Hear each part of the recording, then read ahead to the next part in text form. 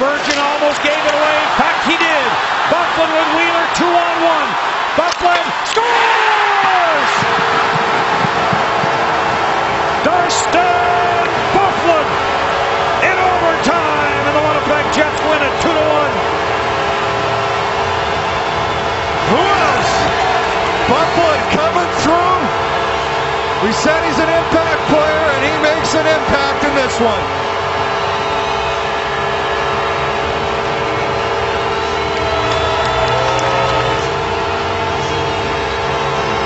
Well, the Winnipeg Jets with a huge point.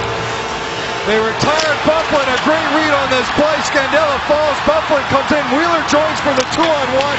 And just a perfect shot off the bar and in blocker's side. And Dustin Byfuglien ends this one as Winnipeg wins. So the Wild keep their point streak going, but their six game winning streak comes to an end. And the